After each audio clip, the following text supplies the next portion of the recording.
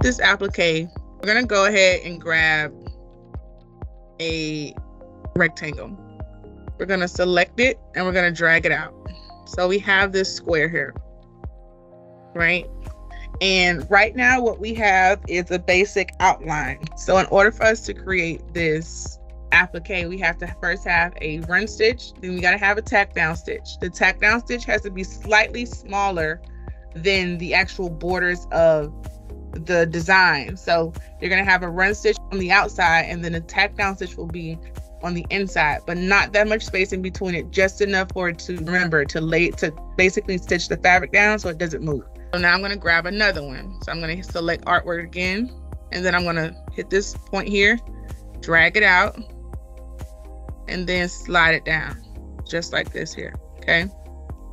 And now I have my tack down stitch and I have my run stitch, but this isn't an actual stitch job yet. This is just two lines. So this is technically like artwork. So I'm gonna highlight the entire thing and now I'm gonna hit auto digitize. Once I hit auto digitize, I'm gonna hit yes. And now I have my two run stitches as you guys can see here. So from here, the only thing we have left to do is make a satin stitch on top.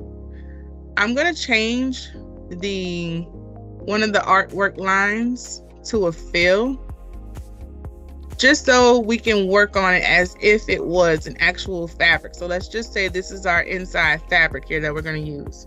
Now what we have to do is create a satin border to go on top.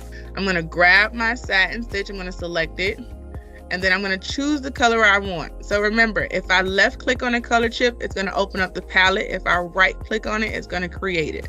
So now I'm going to create this design in a ladder motion. I'm going to start in this angle here at the top left corner.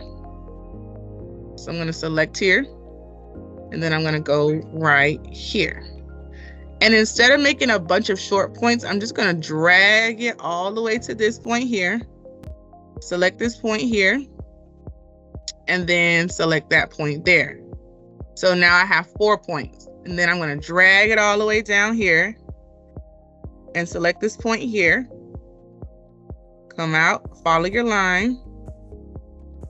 And don't worry if it's off a little bit. You can always go back and adjust it and select this point here. Okay, so now I have six points. I'm gonna come back to this in here. I'm gonna select this point here. And then I'm gonna come out and select this point here, okay? I'm gonna follow up with coming back to overlap on top of what I've already done. So I'm to select this point here. Finish it off right